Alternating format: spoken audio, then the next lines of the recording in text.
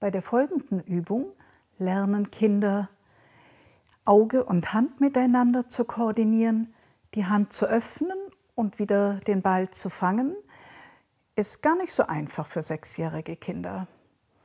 Noch schwieriger wird's, nach unten zu prellen, die Hand zu drehen und den Ball mit dem richtigen Druck wieder hochkommen zu lassen.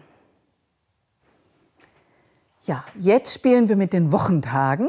Das könnt ihr ja auch schon sehr gut. Genau, zuerst mit der rechten Hand nach oben. Montag, Dienstag, Mittwoch, Donnerstag, Freitag, Samstag, Sonntag. Und mit der linken Hand nach oben.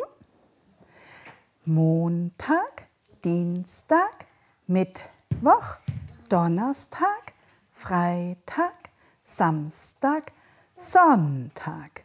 Sehr gut. Jetzt mit der rechten Hand nach unten. Das ist richtig schwierig. Montag, Dienstag, Mittwoch, Donnerstag, Freitag, Samstag, Sonntag. Und mit der linken Hand Montag, Dienstag, Mittwoch, Donnerstag, Freitag, Samstag, Sonntag.